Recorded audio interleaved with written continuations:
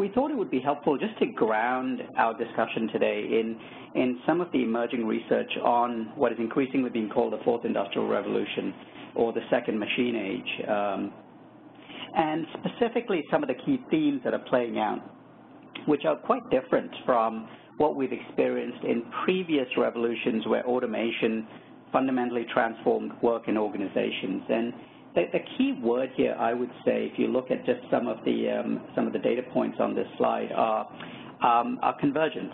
The the convergence of multiple spheres of our personal lives, our physical lives, our biological or well-being lives, our work lives, our social lives, um, as a result of common technology platforms. Think of the impact of social media on all of those spheres of our lives, how they've converged. Think of the impact of digital technology um, and mobile technology specifically um, on all of those lives um, and how they've converged.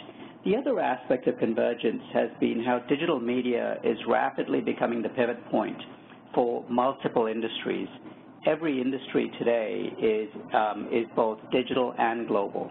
It doesn't matter if you're um, an auto manufacturer, it doesn't matter if you're a large global bank or an insurer, um, digital and global are very real features in, in how your business model is, is shifting and modulating to the new world of work. And what we're seeing uh, are two key things that are fundamentally different about this industrial revolution versus the last. Um, the first being the speed of change. Um, as we went back and looked at the second and the third, um, we have not seen the convergence, both the growth of multiple technology platforms as well as the convergence of industries around these platforms at anywhere near the pace that we are seeing today. And then the second factor that is, is um, both exacerbating this pace of change is the lack of, of social institutions to enable and support society in adjusting to, uh, to this pace of change. If you go back to the second industrial revolution, you had the rise of large organizations as we know them today that really transformed how work was being done, that allowed society to adjust, that gave us the construct of jobs as we know them today. I think today we, uh, we, we seem to be found wanting when we look at the institutions we've traditionally relied on, whether it's education, whether it's government, whether it's the not-for-profit sector or, or companies. Um, all of those different stakeholders seem to be struggling. And when you look at the impact on work, as you'll see at the bottom, what we're seeing as a byproduct of both the pace of change as well as um, this issue of convergence is that many occupations and professions that we have seen you know, last for the last 120 odd years are rapidly uh, vanishing. We're seeing the, um, the half-life of many skill sets shrink dramatically, and, and many of our children um, will probably have to retool themselves three to four times over their course, over the course of their careers. Um, and so again, you're seeing these condition, you know, these conditions for transformative change in, in both how organizations operate and how uh, work is, is being redefined. We went back and we looked at the uh, the last uh, last three industrial revolutions, and uh, and forgive me for the, the history lesson. I'm, I'm not going to go through all of the detail, but we'll just call out um, some of the key features of the last two and the, the uh, striking contrast with how John and I are seeing work evolve um, in this fourth industrial revolution. Much of what we know about jobs and work um, really came about in the second industrial revolution where we had the likes of Henry Ford and General Motors and others aggregate discrete and disparate activities from cottage industries into an assembly line. Those assembly lines gave us uh, the jobs that we know about. Those jobs turned into uh, careers as, as people progressed through different levels at higher level with greater levels of responsibility and accountability. Um, those careers resulted in rewards that both lasted the duration of employment as well as post-employment in the case of pension plans and retiree medical programs. And, uh, and those jobs often lasted for a lifetime because uh, we had a steadily growing economy. We had um, stability uh, that allowed for talent and work to progress in a fairly organized way through this value chain.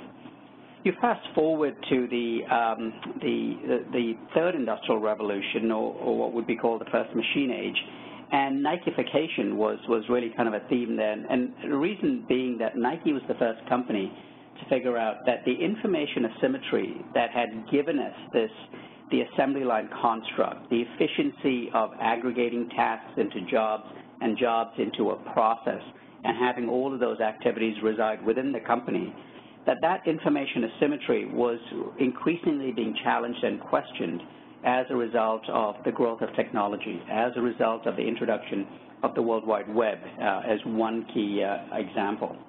And what it did was it gave us transparency and visibility into how we could take a process and pull it apart and have it done elsewhere with complete transparency into the cost and risk and capability and quality of that third party doing the work.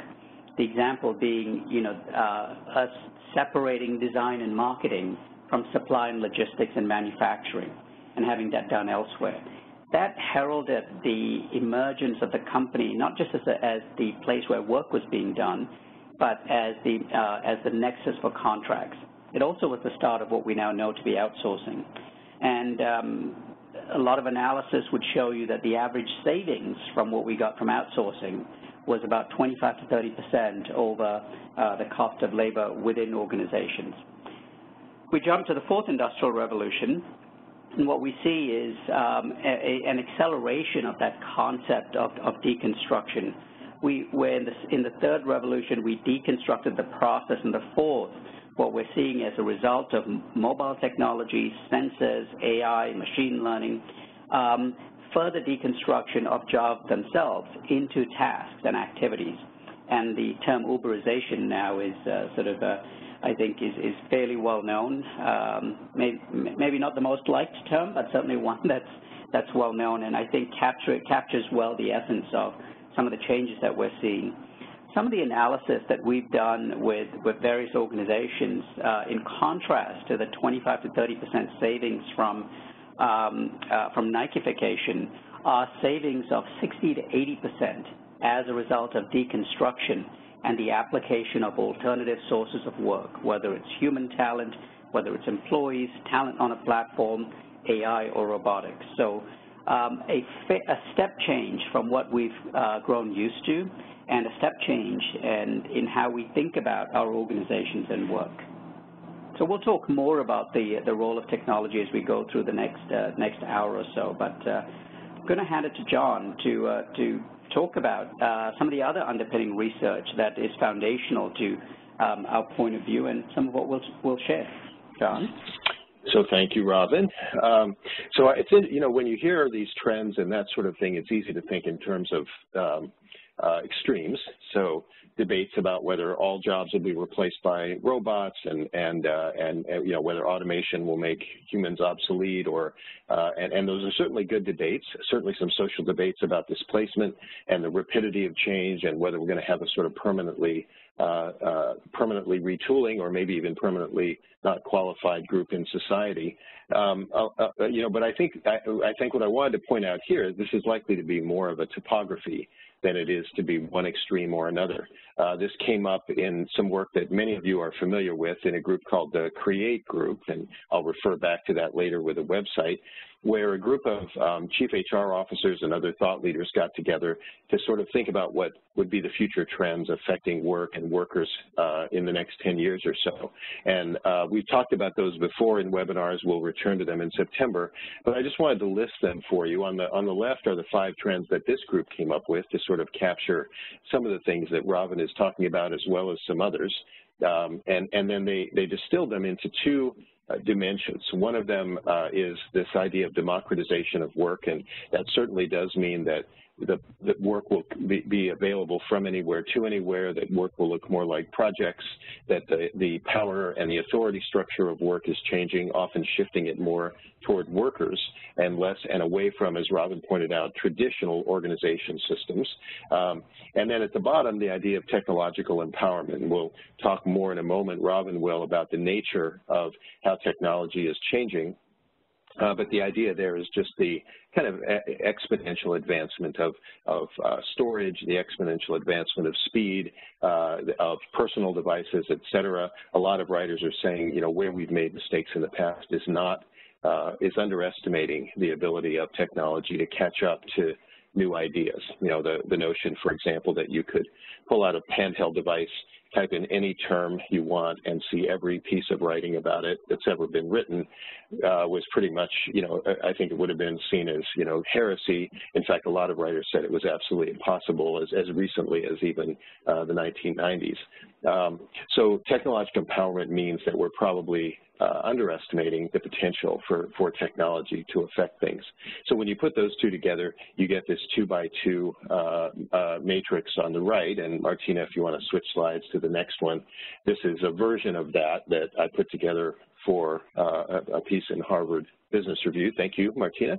Um, and so again, I think the, the, lesson, one of the lessons that I wanted to point out here is this is not so much a rush where every job is going to be uh, deconstructed, every job is going to be automated, et cetera.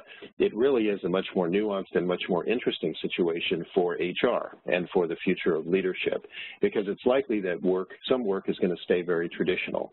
Uh, other work is going to be technologically empowered, uh, to moving to the right on the bottom, uh, but not necessarily that different in terms of, uh, of how we get the work, of the power shift, of whether or not it's deconstructed. And then if you move up, you have a set of options where work becomes what this group called more democratized, uh, more transparent, more deconstructed into projects and tasks, more available in a global market uh, where workers can come and go and workers have a great deal of power to choose how they work and who they work for.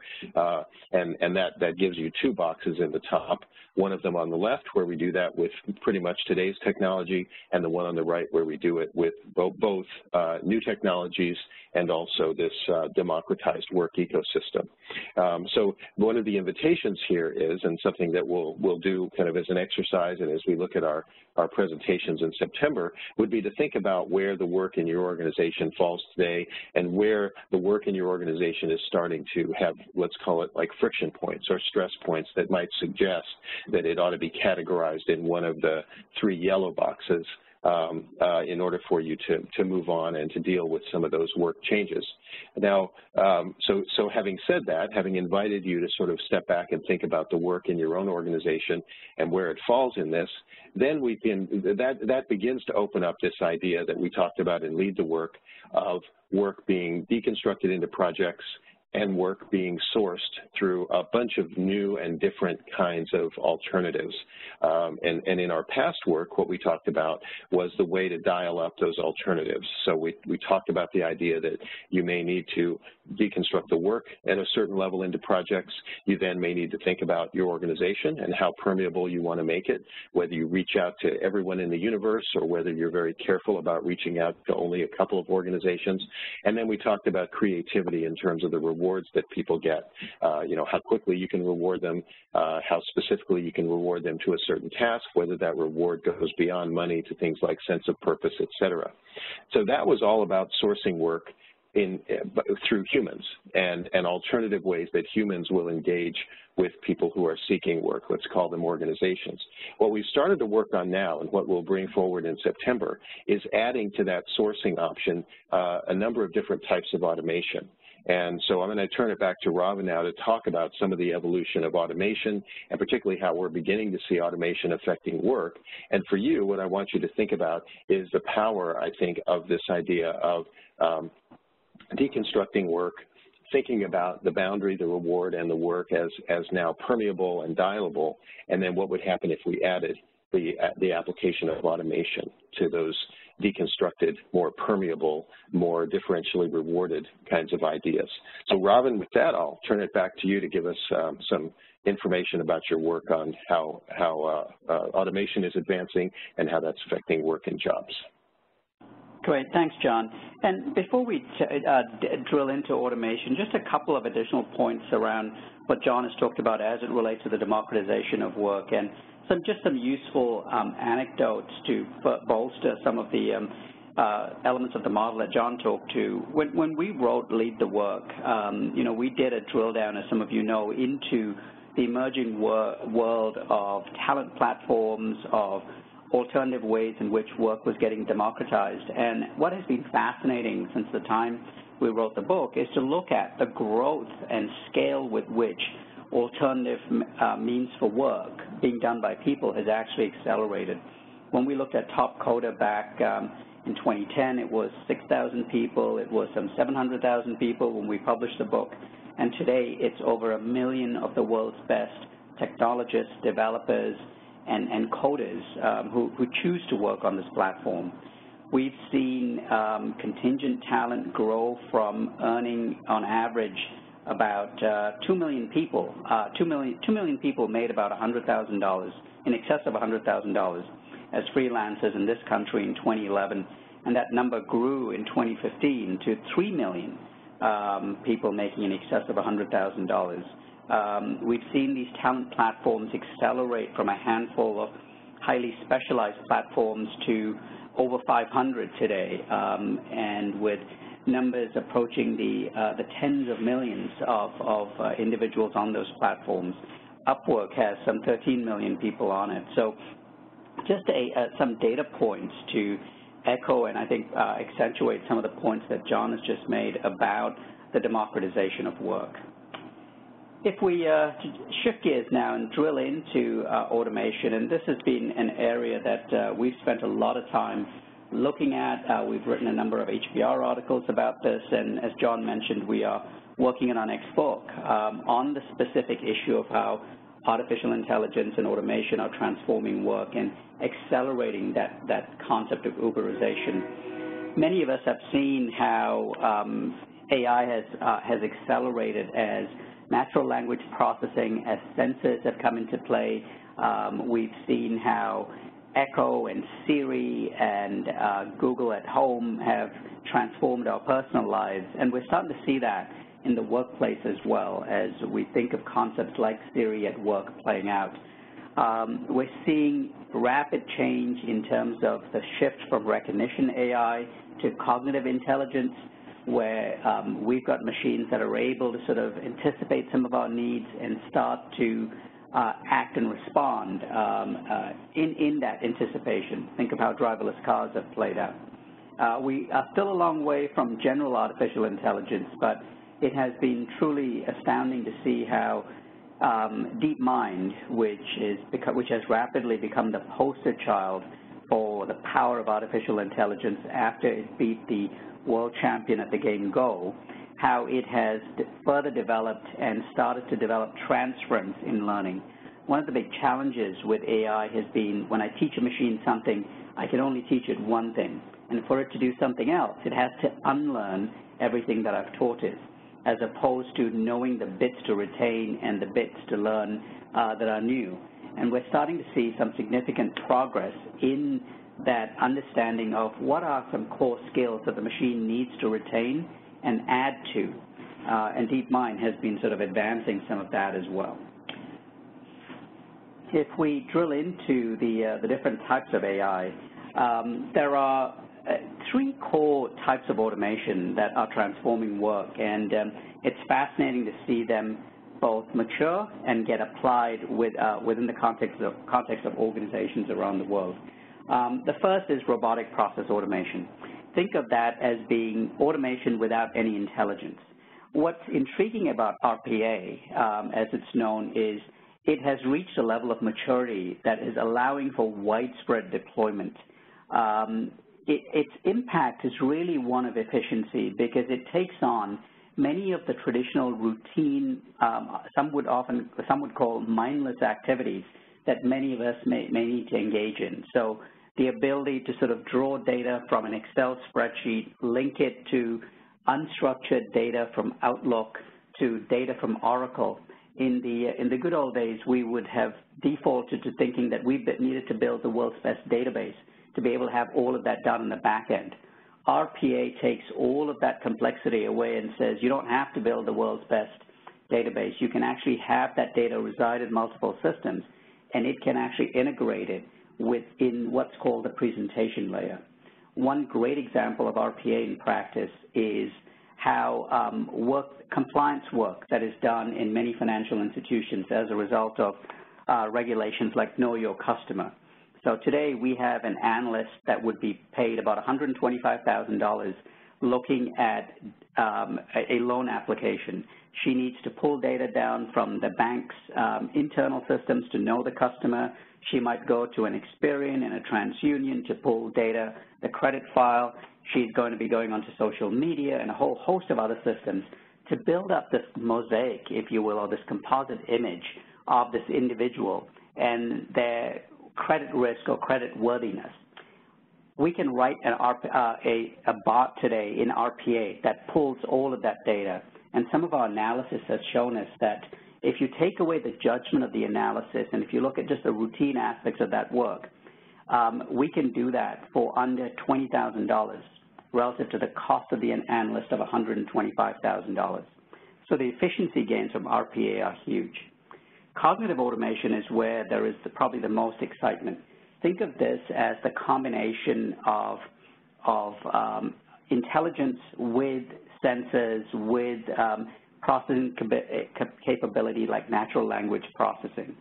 This is where AI is able to sort of engage in the non-routine and the creative. Think of what um, AlphaGo did with, um, with the game Go, the ability to continuously learn from existing examples, to learn and to extrapolate. Um, this is, uh, the impact of this is, is expected to be truly um, uh, significant because of the, its ability to impact non-routine cognitive work that's being done. And the last category is um, social robotics, or the interaction of human beings with robots. Think of it as a combination of three things. Um, robots or equipment that we've traditionally um, had and known in, in think of a, of a car. Couple that with sensors that uh, uh assess where the, the car is, uh, that assesses where a human being might be, where another vehicle or an obstacle might be, and the intelligence to combine the input from a sensor and link that to the, the actual motion and actions of the vehicle. Driverless cars being the classic example of um, what we would call social or mobile, mobile robotics. Lots of routine activity, but the collaboration um, on a dynamic basis between a human being and a machine. John and I are going to actually explore this in a lot more detail at our session in September, if that is not yet more, more motivation to join us. Um, what's exciting, if we, I talked about the potential of cognitive automation, what's exciting about cognitive automation is its ability to truly transform work, and you can see the three things that it does that it could potentially do. And I want to give you a very specific example um, of how it's playing out in, in one industry. So think of insurance and something that all of us can relate to, um, perhaps uh, not, not an experience we want to have too often, but if you have an automobile accident, um, in the old days, or today perhaps even, um, the way that accident would be handled is you would um, report, call in to your, uh, your uh, insurer, you'd report the claim, you'd get a, um, a claims adjuster who would come out and look at the vehicle. She might, you know, assess all of the damage, go back to the office, take a couple of days to, you know, do her research to figure out what the cost of the claim is. You would then have the your body shop, you take your vehicle to the preferred body shop. There would be the inevitable negotiation between the body shop and the claims adjuster. All in all, a fairly painful, time-consuming process. Today, um, the combination of sensors and AI um, and mobile technology have completely transformed that process. Um, as many of you know, well, all of us have cell phones. Virtually every cell phone has a camera. You, if you have an accident today, you take a picture, and that picture gets uploaded onto your insurer's databases. AI immediately scans that data, it links the profile of your vehicle, it knows the year of the vehicle, it's able to look at what does that bumper on a 2015 Mercedes E-Class actually cost? What does that le this level of damage look like? What have we paid out on claims when this accident has happened? What is the cost of a claim in this particular neighborhood? Which are the, what have we paid out to these various body shops who are authorized to work on our vehicles? So the combination of the hardware and the software with the data, um, and if you think of now, now what then happens is AI determines the claim, it communicates the number to the body shop. The adjuster might look at it just to do some sense checking to make sure that it, it, it fits and, and the technology is not sort of not gone off the rails, but the role of the adjuster now is as the human gu uh, guardrails, if you will. But that process now goes from potentially two weeks down to a matter of hours um, with a level of accuracy that is absolutely unprecedented. Um, and it's resulting in not just new insights and a transformed process, but the ability to actually develop some new products and services um, in terms of um, the technology actually being able to use this data to feed into how um, insurance is priced. Some of you may know that um, most uh, auto insurance is priced based on credit reports, which is a talk about a blunt instrument. But today, with this sort of data being generated from these sensors, our ability to price on a prospective basis is greatly enhanced. So uh, hopefully a useful example of, um, of how AI is transforming one very real experience for many of us. And for those of you with teenage drivers like me, um, I think you may relate to that example perhaps a lot more than you'd care to. I know I can. Um, the, if we shift from the AI itself into, or automation, into how it's affecting jobs, one of the things that has fascinated John and I is to look at how um, various researchers, academics, consultants have looked at the impact of technology on work. This, as some of you may recognize, was a study done by the Oxford Martin School, and it looked at the impact of automation on work in the United States. And the prediction was that um, by 2025, 47% of jobs that existed in the United States in 2010 would be eliminated. Uh, John and I um, vehemently dis disagree with this, and in large part because the job is not the relevant unit of analysis when we think of the app, how automation will transform work.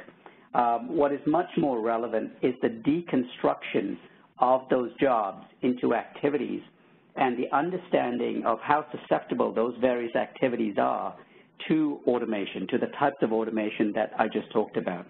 This is a piece of analysis from, from McKinsey that we think is, is much more realistic and, and in, certainly in line with our perspective. And it looks at the susceptibility of different types of work that might make up a job and how susceptible that work might be to automation. So on the far right are things that are routine, things that are highly predictable, be they physical or manual or cognitive, things that are repetitive which we can teach the machine to do you know, RPA taking on some of the data processing work that's done by that compliance analyst, the data collection that RPA does that saves us from manually having to enter data from Excel into, uh, into Oracle or vice versa. Now, as we move to the left, what you see are the things that are less susceptible to automation as it in its current state or form, things that are unpredictable. Um, you know, there are elements of that that could be automated automated, things that, are, that require lots of human interaction. AI could certainly supplement and augment the human capability, but probably not replace it like we would see with the items in blue on the right. And that, that conundrum is, is one that we are spending a lot of time on. We've got some great case studies that we'll be sharing in September of how different organizations are looking at the deconstruction of some of their, their, pivotal, uh, their pivotal roles across their businesses and thinking about how do we make the most of that human capability. When we look at the research, what we see is the, the continued evolution of work along those lines um, of, you know, separation of what's routine from what's non-routine. This is some data from the Federal Reserve and, and the Census Bureau. And essentially what it shows you is over the course of the last 40 years or so, um, a steady plateauing of anything that is cognitive whether it's routine or, or of anything routine, whether it's cognitive or manual. And what's growing in demand uh, in terms of jobs are jobs and work that emphasize the non-routine, the things that are creative, the things that are, uh, require empathy, that require innovation. Um, as an example, in, in Great Britain, the uh, demand for nurses, for skilled nurses, has gone up 800% in the last couple of years. So think of that as um, non-routine manual, if you will, or, or, or certainly non-routine cognitive for certain types of nursing work. And what is um, what has also accelerated is the demand for unskilled home care helpers, um, non-routine manual work. Um, those are things, certainly there's been advances in social robotics with um, um, to su supplement home care nurses, but the work of that um, home healthcare aide, the empathy, the connection with the individual, the care, um, the understanding of, of meaning uh, are things that I think the AI and automation are a long way from, uh, from replacing. So, Ravin, if I might, if I might interrupt here, I, I think that slide might be, or this one, might be the right place to think about this. I, I don't know if you noticed the, the question from Bruce in the chat box, but, but perhaps you can begin to work this in. Um, he, he mentions the meaningfulness of work and mm -hmm. specifically whether there are any trends in work meaning and is that something that's being measured or planned or correlated as all of this automation takes place. Now I know I don't expect you to provide an expert answer with lots of data, um, but it does, it does raise an interesting question looking at the previous graph about what sorts of work seem to be going away or, or reducing as a result of automation and what kinds of work are increasing as a result of automation. So as you go, and particularly, you know, in this graph or the robot graph, maybe you want to comment a little bit about that and what you're seeing in, in your own work in the field and with the companies you work with. Is there any attention to this idea of meaningfulness? Uh, at one extreme, is it getting completely ignored? uh, and assumed away, or are there companies that may be thinking pretty deeply about what's what meaning is left as work becomes more democratic and automated? Yeah, thank you, John. I had not noticed the, the, the question pop up, but I think it's an excellent one. And, and um, let me give you just a, a, couple of data points on that, Bruce.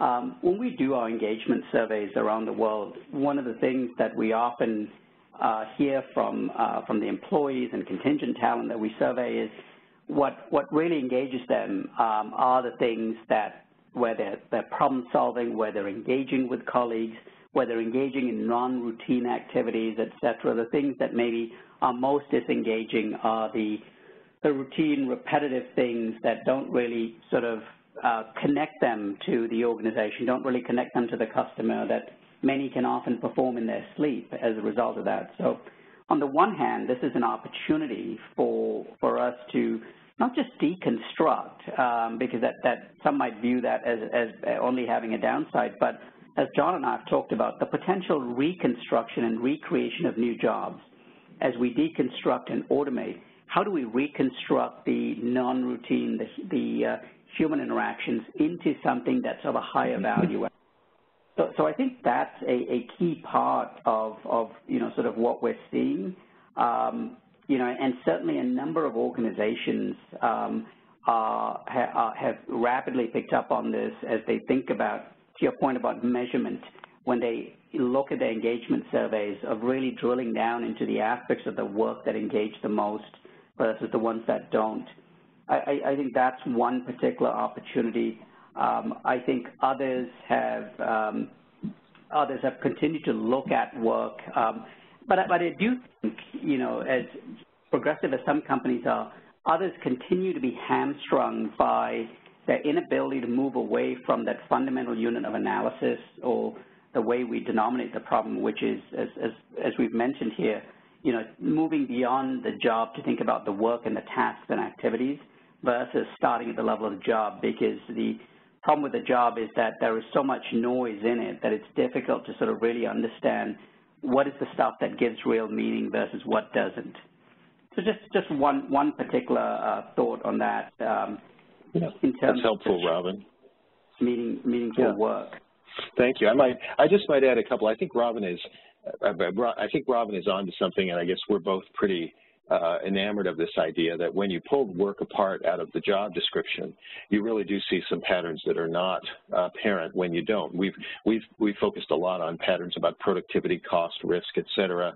Um, and, but I think that idea of pulling the work apart and then asking what really is meaningful here, what is the source of meaningfulness in the work. And, and as Ravin said, I think what you find in a lot of jobs is that there's a great number of things that people would say, if this was automated tomorrow, it really wouldn't change and it might even increase the meaningfulness of my work. Ravin will get to that next when he talks about the augmentation of people with automation. Um, so I, I, you know, I think we, we see a lot of debate, and I've written about this, Ravin has as well, around things like, well, the, the worker is being displaced by a robot and the, the job is going away, you know, whether it's coal miners or uh, manufacturing workers, et cetera. And the, you know, the rhetoric around that really does hinge around the job itself.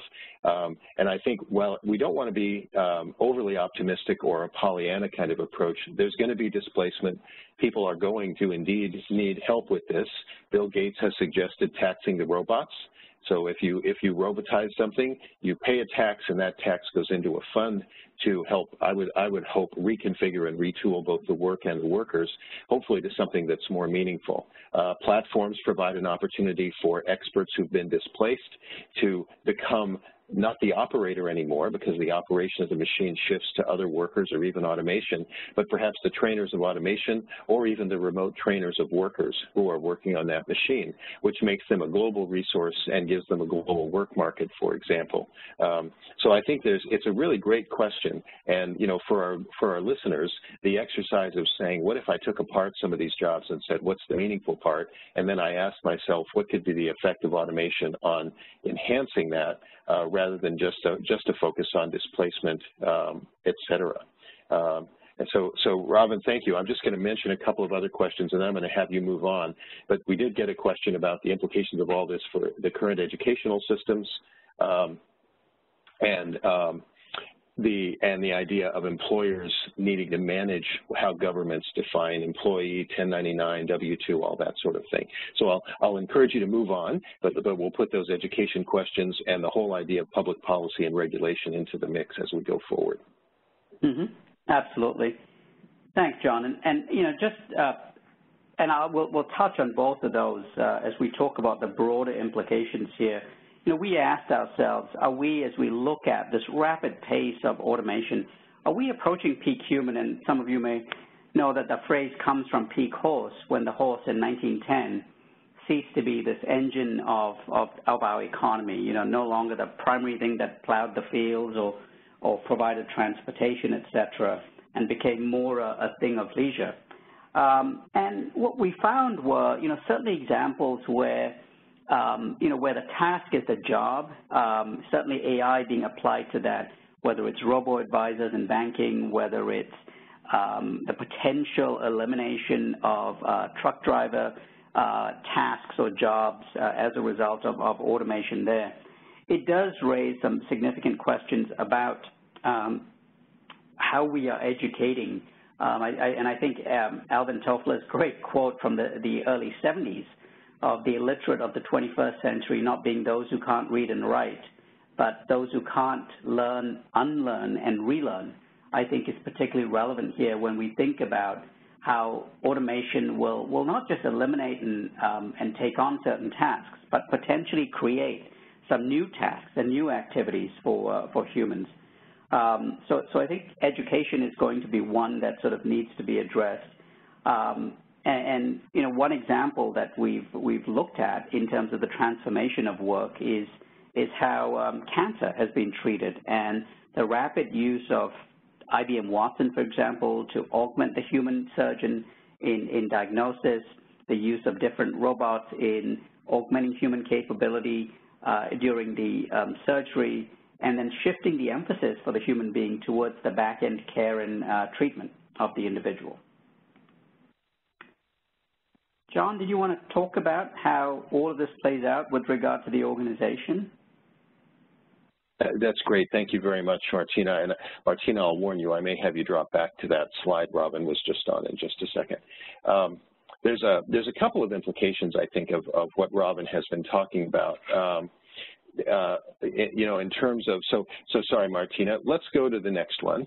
Thank you. Sorry for everybody for a little vertigo there. So this is a diagram that came from the work that, it's a little bit modified, the work that Ravin and David Creelman and I did. Um, and and I, it's an overcharacterization, but I think a good one for teaching purposes. Um, I think it's it's uh, it's a good idea for organizations and HR and leaders outside of HR to sort of imagine the top graph being the default way that we often think about things. We have a big, bold boundary called the organization, and we're pretty clear on what that means. It means we have people inside of it that are that are called employees that have employment contracts, or they walk across our boundary and they uh, they receive you know they they receive temporary kind of employment status uh, or something like that. Um, so pretty traditional, and, and I think what, what we're saying here is that, that one of the things that happens is that boundary becomes more like a cloud, much more gray. Uh, the idea of who's in and who's out really does become subject to a little different definition. You know, if you get 30 or 50 or 70% of your work done by people who come in on project work and you have a significant affiliation with a platform like an Upwork or a Tongal or something like that, then does that mean that those people are actually now included in your quote organization? There's been a lot of writing lately, a lot of rediscovery really of the concept of organization as fundamental to a competitive advantage and as a needed augmentation to just thinking about the individuals. And that's all very true. I'm, I'm, delighted to see that rediscovery happening. I think, however, the definition of an organization is going to go way beyond what we usually think of as lines and boxes and, and boundaries. So what I've added in this one is those little robots and those little augmented brains so that what, what, we're suggesting, and as we go forward to, to the September session, what we're, how we're going to extend that would be that we need to think about automation as well as a part of that ecosystem. Uh, and so if you look at this diagram, one of the real challenges for the field and for the field of human resources, for leadership in general, et cetera, is how we're going to conceive and then systematize optimizing all of these different alternatives. So we can envision a world, if you think about going back to the, the slide before, uh, if you think about these trends uh, in terms of, of peak human in terms of now these are examples where we we augment doctors with with AI we we create robot advisors etc um, we we have game playing computers that can champion at Go. If you think about those things as tools for now optimizing this world that's shown on the next slide, it really, so go ahead and go to that one, Martina. It really does open up some interesting ideas about how artificial intelligence might help to scan and codify and, and uh, optimize the mixture of all those ways that you might get work done and bring it together with all the kinds of work that you need to get done. One can imagine a device where you would basically just describe the work you need done, and that device would understand it, it would codify it, and it would then compare it to all the different ways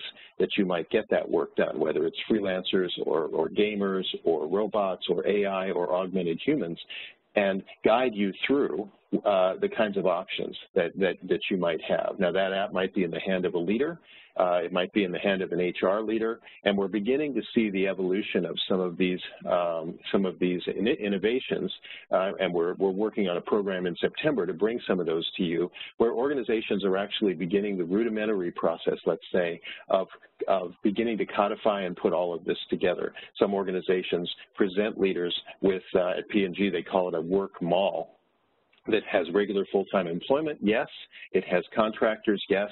Those are the anchor stores, so to speak, of them all, but in between there are a bunch of other alternatives. And the idea is to at least be in a dialogue that opens up those alternatives. Uh, and Ravin and I would say that that's going to hinge pretty deeply on technology and other systems that are going to help us deconstruct and then reconfigure and then optimize the work.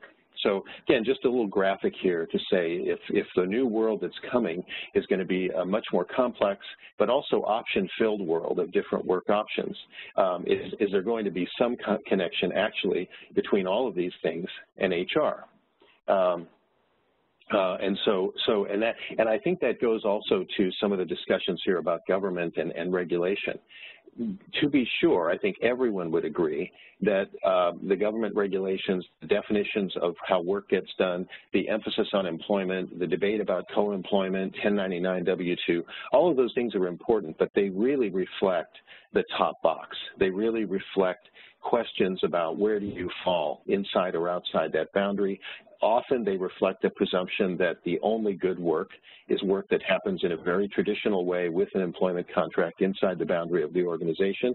Plenty of research to suggest that alternative types of work can be fulfilling, rewarding, et cetera. They can also be very exploitive. So that's, that's an area for HR to step into uh, and see if we can minimize the exploitation and maximize the empowerment. Um, I think we, we have yet to see really um, we see debates about it, um, but we have yet to see really a coherent policy approach to looking at the bottom graph. Where the organization boundary is a cloud and where the, the right, perhaps the right concept of work is much more about a deconstructed set of work elements that we optimize. Um, so plenty of work for, this, this is the kind of work that all the smart people in the audience will do. Uh, and then if you're me, I get to talk to you and write about it, and all of you say, that was really a smart idea. So I, will again perpetually thank all of you for, for helping me uh, do that, and, and Ravin being one of those folks that's very smart and has the, the courtesy to let me write about it. So some interesting kinds of things on the horizon here. And again, I, I would just suggest that number one, this graph may help think about it, and number two, we can think about technology actually helping with these issues um, themselves. Um, so, so I see we've got a couple more questions coming in about, from Jennifer in particular, about specific things like training and education and where should it, where should it focus if the future things are connectedness and empathy. So let me move on to a couple of final slides, uh, and then we'll, we'll leave one more opportunity for questions in, in a few minutes here. Um, this is, again, a diagram that has appeared in a number of the books that I've written. It appeared most recently in a book with Ravin and David. Uh, pretty easy idea. In the middle, the circle represents the activities of traditional HR. We might call that the HR life cycle or the talent life cycle, everything from planning to attracting to selecting all the way around to separating. In, in the Lead the Workbook, we talked about deconstructing the assignment, uh, creatively uh, thinking about the rewards and permeating the organization. And we suggested you can go around that circle and each part of it actually takes on a new meaning. I think we can also now, so in other words, sourcing looks very different. If you say our sourcing includes an ecosystem of workers, many of whom may never be our employees, very different from saying sourcing is recruiting people to become employees and take an employment contract. Rewarding looks very different. if you say our rewards will include all kinds of creative things like sense of purpose, employment brand, uh, uh, the, the opportunity for, for fulfillment, et cetera, well beyond money. Um, and, and, one of our questions had to do with development. Um, if we have a generation looking at their screens who struggle to interact with each other uh, in person, how do we work to adjust training and education so that we can keep the empathy and bring in the non-technical skills in this new environment? Now, I don't have a perfect answer, Jennifer, but I think that's a beautiful question to open up a discussion about how will these automation trends affect HR itself and the way that leaders and HR professionals actually go about constructing and implementing the work relationship. I did a webinar yesterday with Harvard Business Review that, that some of you may have seen and it'll be available in recording. The center will let you know how to get it about this question. And so if we move to the next graph, all I've done here is superimpose, let's call it AI, on the practice of human resources. So Jennifer, you know, if we think about the idea of learning, and we've already got distributed learning and learner-centered learning uh, where someone can go out and get a YouTube video uh, of someone who knows how to do something and watch that video, um, you know, we already have a world in which there's a community being formed with everything from training channels to favorite trainers to rated trainers um, that is that is really based on on a, a virtual community. That that that community doesn't really require being in person together, and it's getting more sophisticated, et cetera. One can imagine that one might say, well, the trainer of the future is going to be this augmented uh, super trainer that is going to have AI right at their side, AI that is constantly scanning the best sources of learning, the best, uh, the most accurate and highly rated sources of learning, and that learner is going to be able to navigate that community and that ecosystem, augmented now with artificial intelligence as well as cloud-based systems, et cetera. Um, there are, you know, uh, speaking of learning, it's very interesting how we'll define learning. I, I mentioned this yesterday we, we talk about um, smart machines and we think about an IBM machine playing another machine in chess or Go or something like that. We think about machines playing humans or humans playing humans, think about chess. But there's a new kind of chess sport that has emerged called freelance chess or centaur chess, like the, the mythical animal that was half horse, half man. And there are players that play augmented by a smart machine. So if you're playing Centaur chess, you and your augmented AI uh, machine play someone else who has their augmented AI machine, and the trick is to know when to ignore the machine and make your own move and when to go by what the machine says. And it turns out that the best players at Centaur Chess are not the chess masters because the chess masters rely too much on their own brain. It's all, they can also play better than a machine by itself because the machine doesn't see everything perfectly.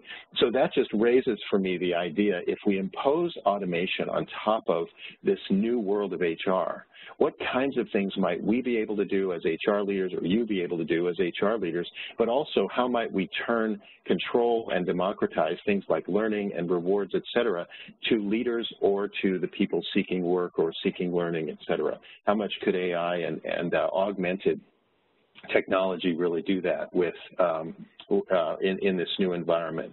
So again, I know that's not a perfect answer to many of you that asked about um, you know, some of the some of the specific HR ones, but I might invite you to just think about that. What are the examples from the world of automation in other areas that might be brought to bear on our world in HR? And then finally, just a couple of slides to, uh, to kind of finish off and, and, and uh, maybe stimulate some a little bit of discussion.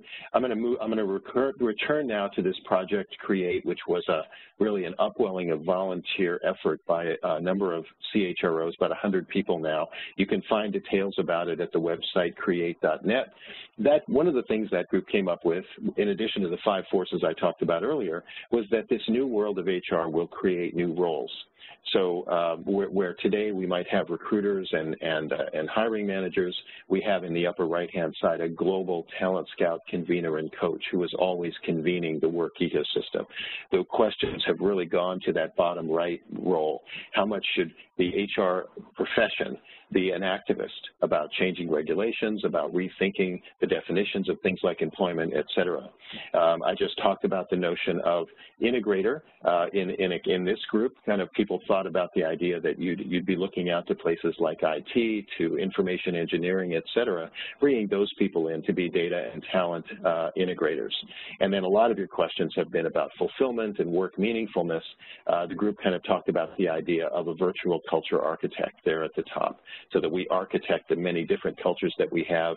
We, we are as good at uh, things like meaningfulness and culture as an architect would be about seeing deeply into the architecture. And this graph kind of inspired Ravin and his team to, to, go to, to go to the next graph and think about how all these roles might change in the world of AI. And Ravin, I might give you a minute to just take us around this, maybe a couple of the highlights that strike you here.